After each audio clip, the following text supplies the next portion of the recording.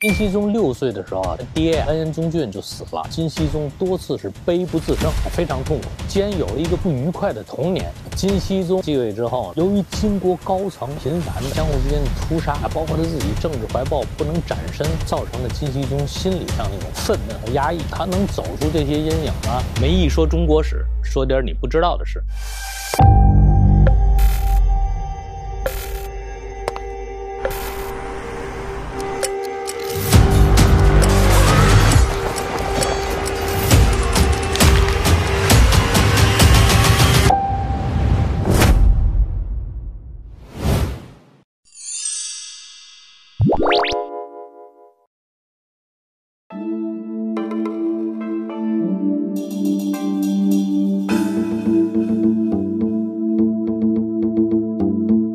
百年孤独啊，估计我们不少朋友们、观众们都看过，这个关系都特别复杂，人物之间啊，那些脉络啊，那些的，包括人名吧。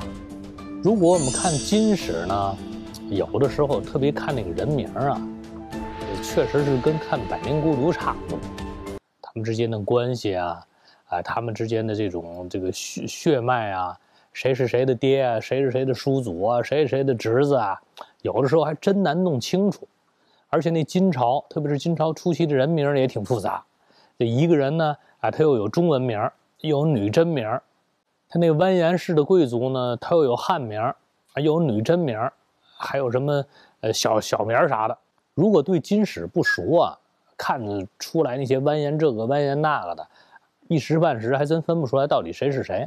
至于他们之间的辈分呢？如果我们看什么完颜宗翰啊、完颜宗盘啊这些中间有个宗字的，哎，可能还比较好分得清。如果没这个宗字儿，哎，就不知道这帮人的辈分了。比如金熙宗完颜亶，他的生父呢是完颜宗俊，养父呢是完颜宗干。完颜宗俊呢又是金太祖完颜阿骨达的嫡长子，完颜宗干呢也是金太祖的儿子，但他是庶长子。金熙宗完颜亶这个人呢，从小深受汉文化影响，金朝呢就是在他手里开始走向汉化的，而且他还曾经立志，就要当一位旷世明君啊，就要变成唐太宗那样的人物，建立不朽功勋。而他的汉人老师韩昉呢，也是希望啊，他能够啊成为像唐朝的啊贤德的君主唐太宗一样，哎，留名后世。当然了。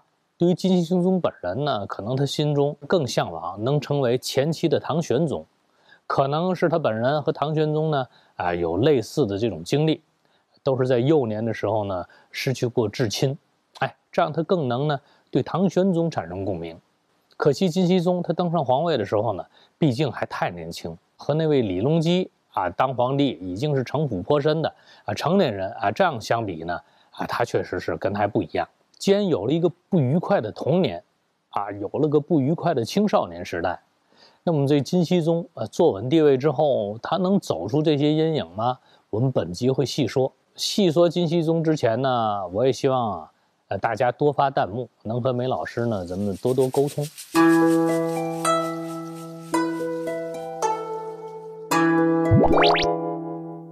我们上一集就讲到。金熙宗完颜亶继位之后呢，实际上一直受制于几位权臣，就是那些宗室老干部。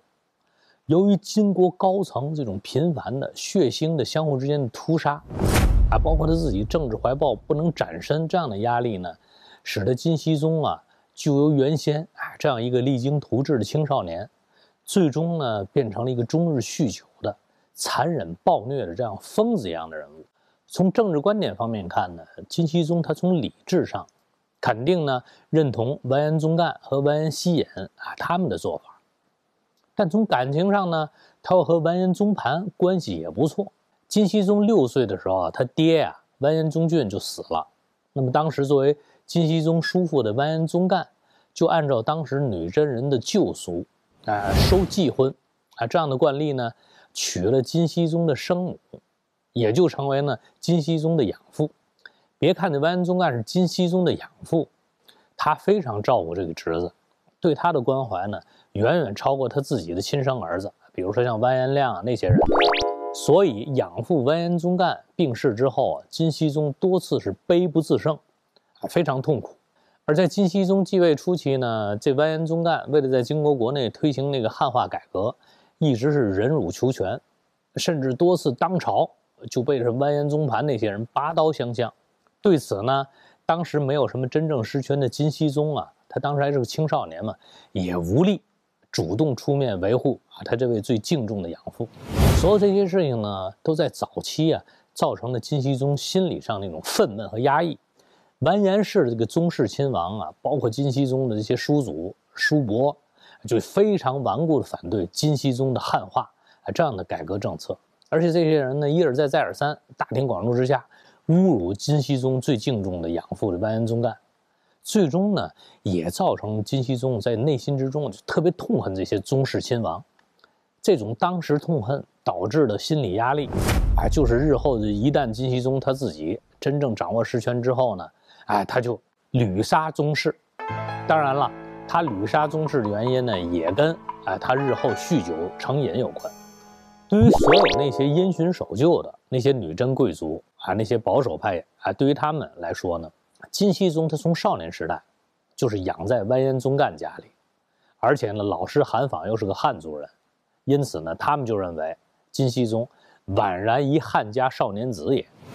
这也就导致金熙宗啊，从青少年时代起，他就有心理认同危机。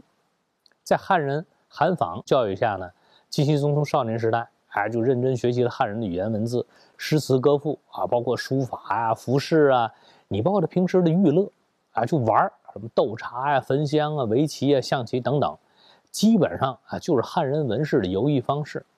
但当金熙宗哎十六七岁当了皇帝，继位之后进入宫廷。他面对的呢，却是许许多多那些宗室权贵，他们要一直要保持的女真旧俗，他就处在那样的大环境下。而辅政的完颜宗翰呢，还曾发布命令，当时就强硬的表示：“今随处既归本朝，一同风俗，一养削去头发，短布左人，敢有违犯，即是犹怀旧国，当正典刑，不得错失。”所以说，当时的金国、金朝和日后满清一样。他在汉族聚居期啊，就强制汉人改改成那女真的习俗，剃发左人，但凡不剃发的、穿汉服的，都要处决、处死。而当时这些女真贵族把金熙宗看成是一个汉家少年子，金熙宗本人呢，实际上也非常鄙夷这些宗室贵族，就这些人就是无知的夷狄，把这些人看作是不开化的野蛮人。但金熙宗本人身上的流淌的啊，却是实实在在的女女真血液。因此呢，又使他无法完全从心理和文化上呢就认同汉族的文化。那么金熙宗继位之后呢，按照汉族皇家那种传统，君主和臣下啊，他们之间自然不可能啊有这种游艺活动啊来进行的。就说啊，你皇帝你不能跟他们玩在一块儿。实际上呢，你说这些金国贵族大臣，你说围棋呀、象棋呀、什么的喝茶那种繁琐的方式，他们也不会啊。我们从金史当中就可以看出，金熙宗这一生，他作为女真皇帝，还一直保持女真人春水哎那种出猎习惯，就类似于辽国那种四十纳伯。因此，金熙宗这个人，他即使从内心深处鄙视女真人啊这种又打又杀的这种所谓的传统方式吧，但为了便于自己的统治，他也只能哎经常和这些无知夷狄啊这些亲戚们，用女真的传统方式呢啊来进行沟通和娱乐。如果从今天的心理学角度那看待历史上的金熙宗，就能在某种程度上理解他当时啊那种很多变态的行为。他内心的痛苦啊是无法用娱乐啊或者是权力来驱散的，也无法和一般人呢来倾吐得到缓解。所以说呢，他就啊开始酗酒啊借酒消愁了。特别是在金熙宗执政晚年，根据史籍记载，日与近臣酣饮，或既已夜，莫能见之。我们要知道，美酒这东西虽然能够使人啊精神放松啊沉醉，暂时忘记一切烦恼，但同时呢又能够非常大程度的破坏人的精神系统啊。加上那种压抑的朝堂气氛呢，就可能导致呢金熙宗的心理变态。金熙宗酗酒这种做法呢，实际上是饮鸩止渴。就算当时没有心理医生给他进行心理疏导。哎，实际上作为皇帝，他也不能用这种极端的方式来伤害他自己。那么金熙宗这种酗酒成性，是不是和他小的时候成长环境有关系呢？现在流行一句话叫什么呢？有的人以一生来治愈童年，实际上金熙宗啊，也就是这样的。他自幼呢生活在养父完颜宗干家里头，虽然这个养父对他很疼爱，毕竟这金熙宗啊幼年开始呢就在这个养父完颜宗干家中。完颜宗干家，我们想啊，当时是一夫多妻这样的特殊环境。你想一六岁小孩儿，啊，这么多女人，啊，周围这么多仆人，啊，这么多跟他呃不是一个妈的兄弟姐妹，因此呢，他的幼年时代和童年时代，你说他能真正享受到真正的家庭生活吗？呃，能有真正的这个母爱的温暖吗？肯定是没有的。金国天眷元年。啊，当时虚岁二十的金熙宗呢，就把裴满氏立为贵妃了，正式组建起他自己的家庭生活。裴满氏呢是金国九大贵族之一，其他八大家呢分别是图丹氏、唐阔氏、普察氏、拿览氏、普散氏、赫什列氏、乌林达氏，啊，包括这个乌古论氏。在金国初期呢，那些皇帝啊，包括这些皇子皇孙们，不论是娶妻啊，或者下嫁公主啊，都严格限定在这九大家族范围之内。可想而知呢，呃，当时金熙宗啊，这个正妻裴满氏出身也是非常呃尊贵的。当然了，金熙宗封裴满氏为贵妃，并不是说当时才娶她。金熙宗没正式继位之前啊，就已经娶这个裴满氏为妻了。那么这对夫妇呢，开始的时候，他们之间的生活应该还是挺美满的，感情肯定还是很恩爱的。我们要知道，天会十三年，金熙宗继位，转年呢改元嘛，天眷元年，就公元一。三八年四月二十七号，金熙宗就加封裴满氏为贵妃。同年十二月二十五号，哎，他又晋封裴满氏为皇后了。同时呢，还任命裴满氏的父亲忽达为太尉，追赠裴满氏的曾祖父斜野为司空，追赠他的祖父胡沙呢为司徒。值得一提的是啊，裴满氏啊是金国历史上第一位皇后。在此之前呢，因为金国的后宫制度还没有建立起来。那皇帝的妻子，比如说金太祖啊、金太宗，他们的妻子呢，被称为大夫人，他们的次氏呢就称夫人。这次封后呢，金熙宗还让他的岳父胡达充当啊册封皇后的正使，说这个举动啊是非常暖心的，无形之中呢，等于是又撒了一把狗粮。但谁能想到呢？原先啊这对本来非常哎恩爱的夫妻呢，后来是渐行渐远，甚至呢。刀刃相见。黄统元年，就公元一四一年正月初十，金熙宗本人呢接受大臣们给自己上的尊号，崇天体道亲明文武圣德皇帝。同时呢，哎，这个裴满氏也有尊号，慈明恭孝顺德皇后。黄统二年呢，就公元一四二年二月二十四日，裴满氏呢在天开殿还生下一个皇子。这一年呢，金熙宗二十四岁，忽然喜得皇子。还又是正妻皇后所生，特别高兴。他亲自给这皇子取名什么呢？叫完颜季安，然后大赦天下。三月二十五号，金熙宗就正式册封完颜季安为皇太子，同时呢，又封裴满氏的父亲那太尉呼达为王，然后呢，又赐给他好多什么牛仆啊、马牛啊、骆驼啊，也包括羊，就赐了五千只。所以说当时啊，对这个皇后一家是加恩极厚。可惜的是。同年十二月二十六号，这小孩子完颜季安啊，就忽然得病了。看到自己儿子得重病，哎，金熙宗和他的皇后啊，这两个人马上到佛寺去烧香。夫妇两个人当时都痛哭流涕，为这儿子完颜季安啊祈祷平安。同时呢，宣布大赦方圆五百里内的罪徒囚犯，哎，把他们都放了，以此呢来为自己的小儿子祈福。但就在当天夜里，哎，不满一岁的完颜季安这个皇太子夭折了。痛倒之余，金熙宗马上下诏，给这个儿子呢，呃，谥号为什么呢？英岛太子。金熙宗刚刚继位的时候呢，金国四处是掠地攻伐，毕竟当时还有几个老臣在，啊，他这个国事啊，什么都比较顺利的。不仅呢能够顺利的把这伪齐刘义政权给废掉了，当时呢还派出军队，而且还打得当时南宋高宗赵构啊割地称臣，因此金国国内的政治情况非常稳定。百姓呢安居乐业。天眷二年呢，由于金国国内的政治纷争，各个权臣以他的名义啊互相杀戮，啊，你看什么完颜宗盘啊、完颜宗俊啊、完颜达览啊、完颜胡览啊、完颜运等等吧，这些宗室亲王，啊，等于都是以金熙宗自己的名义啊下诏给杀掉的。内心当中呢，他也是大受刺激。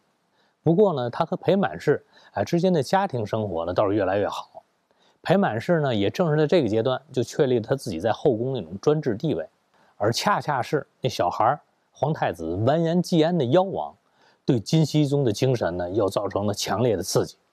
由此之后呢，金熙宗和裴满氏夫妻之间的关系呢越来越紧张。皇统八年，就公元一一四八年，金熙宗的大臣完颜宗弼啊，这个死之后呢，朝中宗室老臣啊，基本上都死了啊，要不就病死了，要不就被杀了。裴满氏呢，这个时候就开始肆无忌惮的干预金国政事。自己的儿子皇太子完颜继安死之后呢，金熙宗好几年都没有再生皇子了。最主要原因就是身为皇后的裴满氏非常嫉妒。时常干预金熙宗在宫内临幸别的嫔妃，由此呢，使得金熙宗宫内生活和家庭生活变得毫无乐趣，因此呢，使得原先本来就压抑的这种心理压力呢就更大。我们看《金史·张通古传》就可以发现，那上面怎么记载呢？金熙宗自太子继安薨后，祭祀未定，深以为念。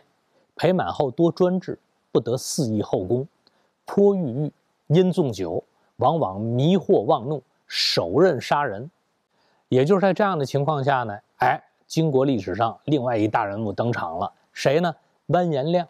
我们就要知道，作为一个女真皇帝，金熙宗啊，喝喝酒，撒撒疯，打碎点东西，如果仅仅止于此呢，对于一个皇帝而言呢，不算什么大过。可怕的是呢，这位爷醉酒杀人，杀进士，杀大臣，杀嫔妃。甚至连他自己的皇后也被他捅死了，所以说弄得他身边人人自危。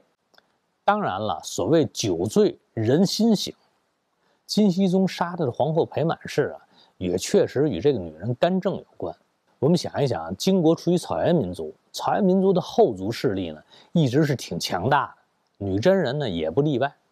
那么这位裴满氏呢，他的裴满家族就是个大族，哎，本人呢啊又是个河东狮子。醋劲儿特大，就时时阻止金熙宗她老公和别的妃子欢好。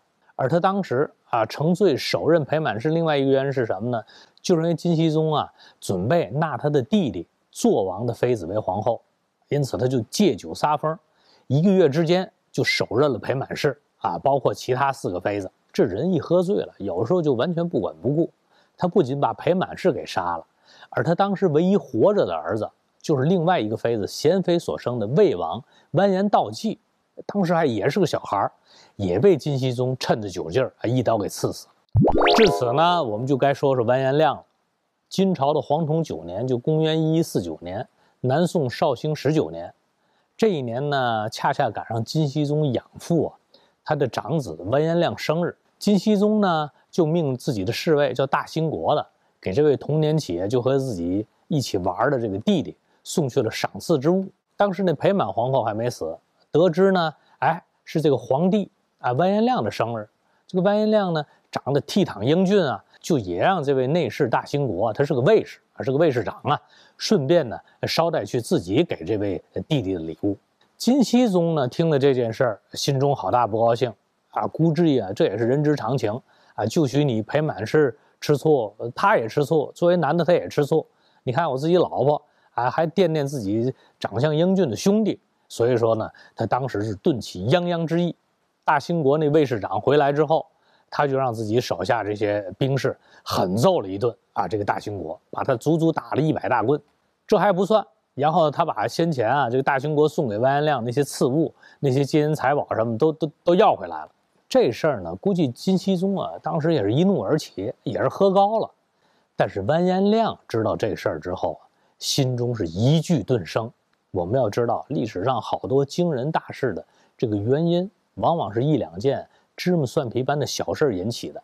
现在史书呢，一讲起金国的完颜亮啊，总会提及他当大臣时啊讲的那几句话：“武志有三，国家大事皆由我出，一也；率师伐国，执其军长，问罪于前，二也；得天下绝色而妻之，三也。”如果我们平和地进行分析。完颜亮当时对他的好友那汉人高怀真讲的这些话，绝对不算什么悖逆狂妄之言。如果完颜亮日后就成为唐太宗那一类人，哎，这些话呢可能就变成豪言壮语，就和当时这位英俊小伙手中扇面他自己写的那两句诗文交相辉映了：“大饼若在手，清风满天下。”完颜亮真正开始觊觎金国这个帝座，第一呢就是由畏生恨，就恨上他这哥哥金熙宗了；第二呢也是当时金朝大臣有个叫萧玉的啊撺掇他。萧玉怎么说呢？先太师为太祖长子，德望如此，人心天意，意有所属，公诚有志举大事，愿竭力以从。他说这个先太师就是完颜亮他亲爹完颜宗干，因这个完颜宗干啊是这个金太祖完颜阿骨达的这个庶长子，自己有了心，又加上萧玉这些人啊这些话，完颜亮呢当时大喜，由此呢他对这位萧玉啊。也是数家荐引，一直向哥哥金熙宗推荐。而后的萧玉啊，就掌握了两京的军政实权。由于当时完颜亮生日，自己的皇后裴满氏啊赐给他礼物，引起了金熙宗的不满。但是金熙宗对这位兄弟实际上还是不错的。不久呢，还是任命完颜亮为左丞相。但四个月之后呢，又有一件事情使得兄弟二人关系又紧张了啊。当时是金国黄统九年，这个四五月间吧。金国的自然灾害非常多，狂风暴雨、雷电震宫。古代人非常迷信啊，认为这些天变呢是上天示警，因此金熙宗啊就命令汉人学士张军替他自己啊起草罪己诏，以此呢来奉搭天界。罪己诏啊在历代皇朝都有，其中不少都是固定格式，在行文当中呢一般都有类似于什么呃唯德佛类、上干天界。啊什么顾兹寡妹、苗于小子等等吧，这些套话，哎，这些对上天表示恭敬啊，表示这个呃罪己嘛，啊，表示这样的话。而当时呢，金国的参知政事有个叫萧绎的，这人挺阴损的，他又一直呢在内心当中抵制汉化，因此他就拿这份诏书对金熙宗讲：“唯德佛类是指大无道，苗于小子，苗者目无所见，小子无知婴孩之称。”这明明就是些汉人托以文字指斥皇帝陛下您。金熙宗当时呢一直处于那种半喝醉状态，闻言勃然大怒，马上命令卫士把这个张军啊拖下殿，大棍子击打数百次。而当时这位倒霉的笔杆子呢，这个张军的命还挺硬，几百大棍打完，哎还活着，依旧在原地辗转呻吟，呃就是不断气。宿醉未醒，金熙宗啊当时也是非常怒。亲自下殿，掏出的腰间匕首，把这位张学士的嘴啊一直划到耳边，然后又冲他脑袋乱扎乱捅，等于残杀了这位汉人学士张军。杀了张军之后，一身血啊，他又金熙宗啊气冲冲的就就回到座位，就问群臣：“张军办善，谁使为之？”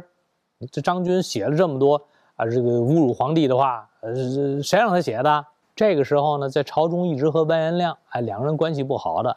这完颜宗贤就回答了：“是太保所为，完颜亮撺掇他写的。”听完颜宗贤如此回答，金熙宗呢一时默然，愣了一会儿之后，怒气又起，马上下诏贬完颜亮于京外，任他为领刑台尚书省事，别在中央待着了。这一段金国历史呢，我们纵观各种史书，包括现在啊咱们这些后代历史学家的诠释，无论使臣学者。都对上述事情呢照猫画虎，没有一个人注意到这样一个事实：什么事实呢？金熙宗啊，一直是汉人大儒韩昉的弟子。呃，朝臣当中汉人啊，契丹那些族通汉文的也特别多，他本人肯定也是精通汉文。由此呢，这么一个汉文已经过了二十八级的，哎，这个金熙宗，他怎么连汉文当中那种公文格式？啊，类似于什么“此事敬礼”这样的套话都都看不懂呢，还需要当时西族出身的那个萧绎给他做翻译呢。实际上，由此就可以看出，金熙宗朝廷内部那政治斗争就从来没有停止过。即使后期金熙宗一个人已经说了算了啊，坐稳了皇帝了啊，这个朝中宗室大臣之间也是勾心斗角，他们之间的相互倾轧啊，愈愈演愈烈。这个时候呢，天天处于酒精中毒状态的啊，金熙宗。所以说呢，他趁着酒劲儿啊，才有了惨杀学士张军那一幕。否则呢，我们一边大讲金熙宗汉化，一边又讲啊他不懂汉文，以文杀人啊，那就完全讲不通了。综上所述啊，这个研究他先前的种种所为，金熙宗啊日后纵酒成性，就跟他青少年时代受的巨大那心理压力还非常有关的。时间呢又过去四个月，还被贬外为官的，啊，正巡视各地的完颜亮又接到诏书了，他皇帝哥哥金熙宗让他回京任偏章政事。按理说啊，这是金熙宗啊，呃，心意回转了，就等于是给完颜亮升官。完颜亮接到这诏书呢，却是一句异常，等于是硬着头皮回到京城。那么这完颜亮回京之后，会有什么样的命运等待着他呢？我们下一集接着说。你所不知道的宋朝小知识：宋朝人取名有什么讲究呢？前些时候专门有人对中国啊这个重名率最高的名做过统计，看过之后你就会发现，啊，我们很多人现在起名的想象力啊，啊，确确实实已经被牢牢束缚住。如果我们翻开史书，发现以前的人还太会取名了，名字不仅起得好听，寓意又好，用词呢还特别优秀。此外，不知道大家注意到没有，古代人起的名字，不同时代也有不同的风尚。比如说西汉，就很流行用什么勇啊、武啊、霸气啊、雄啊来做名字。东汉末年呢，道教兴起，当时最流行的这个道教派别五斗米道嘛，那些教徒就喜欢用之哎作为名字的这个暗记。流传到南北朝期间呢，就形成了把之作为名字的风尚。哎，比如说大书法家王羲之。他也喜欢道教了，他五个儿子，呃，这个几个孩子名字个个都带之，就连他的孙子起名也带之，所以说这就属于过于执着了。到了唐朝呢，人民生活安康，人丁兴旺，于是又要出现一个特殊的现象，呃，就是用排行大排行用作家内的称呼，读唐诗能看到好多大排行的现象，比如说孟浩然称孟六，元稹称元九，王维呢称王十三。白居易呢称白二十二，所以说他在他们白家大排行啊，特显得这这这个家丁特别兴旺。那么到了以文艺著称的宋代，起名又有什么讲究呢？宋代起名的第一大变化呢，就是自备取名制就开始了，流行了。中国谱系最完整的孔氏族谱，实际上就从北宋元丰年间开始编修的。那么第二呢？在崇尚道教的宋代，啊，有不少人呢就按照阴阳五行来给孩子取名，很多人呢还喜欢用五行呢作为序辈儿啊来取名，也就是五行相生之意。比如宋代大儒朱熹，从他爹朱松开始，朱家的一门五代啊取名呢都是依靠什么木火土金水来做名字偏旁，和五行啊来这个相应相生。朱松的松啊，这个是木字旁的；朱熹的熹呢，下面四点是火字形。朱熹的儿子叫朱载，载呢是有土字在里面。朱熹的孙子叫朱建，建字呢有金。那么朱熹的曾孙叫朱潜，这就不用说了，水字边啊，金木水火土他们家都有了。所以说宋代五行起名是蔚然成风，就连那大奸臣秦桧，他在给子孙起名的时候呢，也是根据五行啊来起名。第三呢，宋朝人呢还喜欢在取名的时候用什么老啊、富啊、翁啊来取名，比如说《东京梦华录》的作者就叫孟元老，《鹤山集》的作者叫魏了翁。至于大理学家朱熹呢，他号顿翁。